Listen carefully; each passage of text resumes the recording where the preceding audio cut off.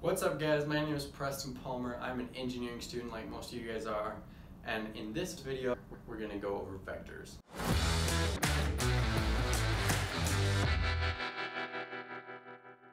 So, a vector is a quantity with both a magnitude and a direction.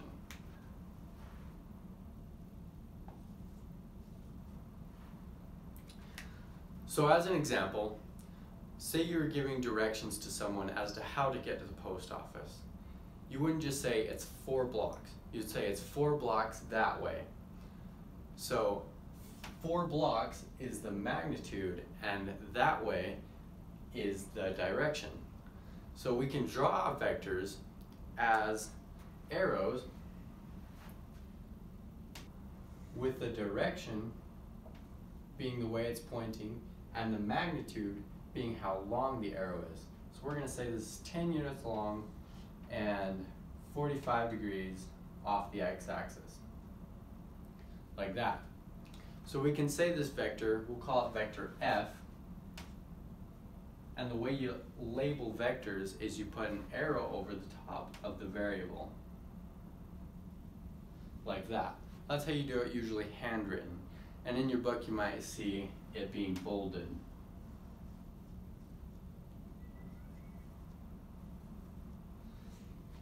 Something like that.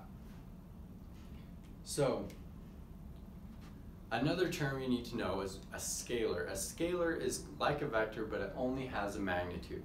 You'll do math on vectors and you'll come up with scalar values, which just means that it doesn't have a direction. So like any quantity, you can do math on vectors, and we'll start with addition.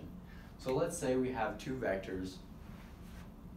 Vector A, we'll call this vector A, and vector B. And let's say we want to add vector A to vector B. So A plus B, and we'll call the result vector C. So what we do is we use what's called the parallelogram law.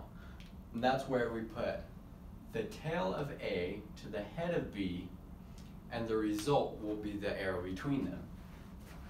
So we'll draw A again, we'll draw B coming off of it like that.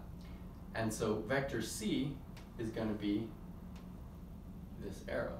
So subtraction is very similar to addition in that we just make one the one we're subtracting negative. So say we want a negative B,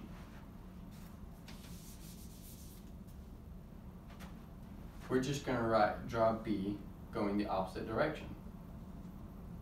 Still going to have the same length, just a different going in the opposite direction. So to subtract them, we'll say A minus B equals vector D, draw A, and a negative B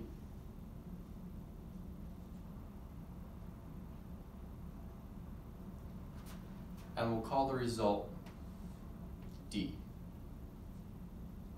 So multiplying and dividing is very similar in that we just make the vector arrow longer or shorter. And so it basically only affects the magnitude of the arrow. So say again we have vector A and we want to multiply by 2. Well, we're just going to draw it twice as long. So this will be 2a. Say we wanted to divide it by 2, well, you basically just multiply it by its reciprocal. So the reciprocal of 2 is 1 half. So if we want 1 half a, or divide it by 2, we'll just have half the length.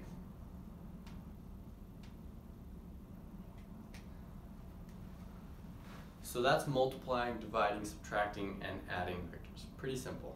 Alright guys, we're going to use what we've learned about vectors to solve a problem. And so what we have here is an eye hook that's coming out of the ceiling and it's being pulled on by two different ropes. One being pulled, pulling 40 pounds and one pulling with 20 pounds of force. And they're coming off the what we what we're going to call the x-axis that's going through the middle of the hook at 60 degrees and at 45 degrees. So what we need to determine is what the resultant force is on this eye hook, the resultant force of these two ropes pulling on it, and what the direction it is pulling at. So what we're going to do is we're going to represent the ropes as vectors, and we're going to do that by drawing them as arrows.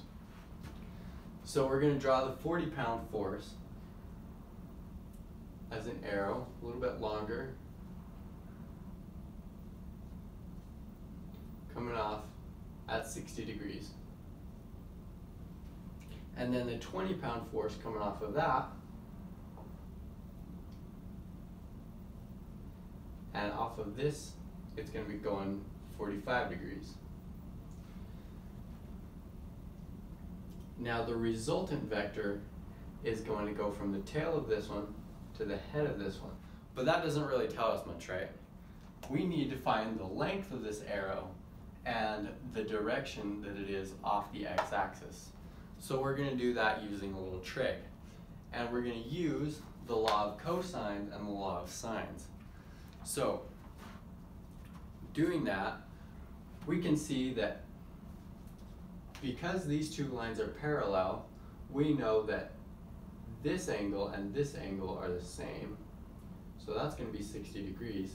So when you add these two side, when you add these two angles up, it is going to equal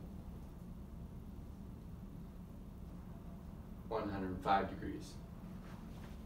So what we have now, guys, is a triangle with one side of 40 and one side of 20 and the angle between them. So we know we're going to use the law of cosines because its formula gives us two sides and one angle between them to plug in. So we're going to plug in these numbers. We'll call this side C. We'll say C equals the square root of 40 squared plus 20 squared minus 2 times by 40 times by 20 times by the cosine of 105 degrees. All right, and I've already calculated this out, and you end up getting that C has a length of 49.13. And remember this is in pounds because these are pulling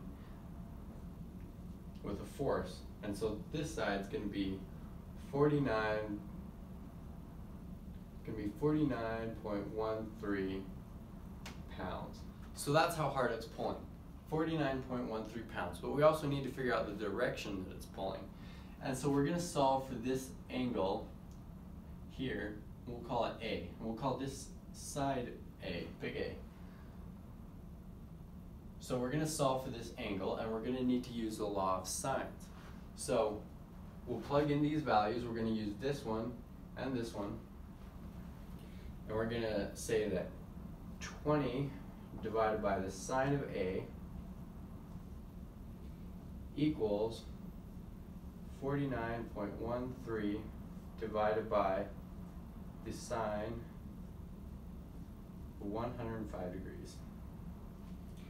And so we're going to do a little bit of algebra, multiply this to this side, multiply the sine of 105 over and divide 49.13, and then take the arc sine of that, and we'll get A equals 23.15 degrees. Okay, so we got the angle, but that's not the final answer. We know that this angle is 23.15, and since we're going to measure off the positive x-axis going counterclockwise, it's going to have all this, which we'll know is 180 degrees, plus the 60, plus the 23.15.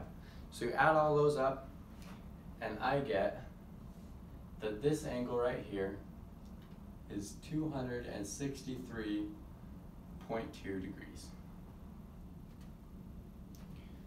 So that's it. That gives us the direction. If we draw on here, we'll have something like this coming off. Erase that, get it out of our way.